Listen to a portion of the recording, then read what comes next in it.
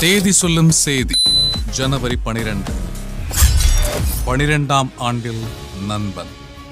ஷங்கர் இயக்கத்தில் ஹாரிஸ் ஜெயராஜ் இசையில் விஜய் ஜீவா ஸ்ரீகாந்த் சத்யராஜ் சத்யன் கூட்டணியில் இரண்டாயிரத்தி பனிரெண்டில் இதே நாளில் வெளியான மீளுருவாக்க திரைப்படம். அனைவரையும் கவர்ந்து மிகச்சிறந்த படமாய் பல விருதுகளுக்கும் பரிந்துரைக்கப்பட்ட படங்களில் ஒன்று நண்பன்.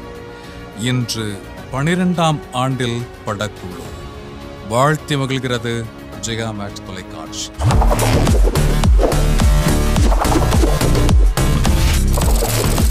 தேதி சொல்லும் செய்தி.